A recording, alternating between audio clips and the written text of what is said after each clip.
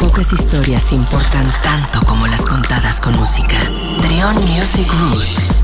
Detrás del Everything Now de Arcade Fire. En mayo del 2017, Arcade Fire tocó seis canciones inéditas en vivo durante una presentación secreta en Montreal, marcando el inicio del Everything Now. Cuatro años les costó recuperarse del Reflector, para algunos el disco menos agraciado de la banda, para dar paso a esta nueva producción. Junio salió a la venta el sencillo Everything Now en formato Orange Vinyl con un lado B, la versión instrumental del track. Entre los cómplices de la producción se encuentra Thomas Bangalter, la mente maestra de Daft Punk.